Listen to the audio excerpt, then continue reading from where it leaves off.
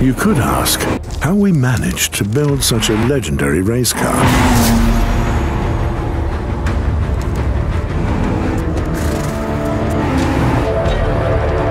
And then, how to combine the power of a sports car with a business sedan.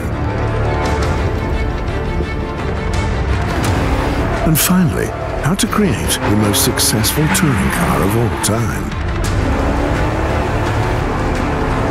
Now, question if the all-new BMW M5 could really exist. Well, it certainly does.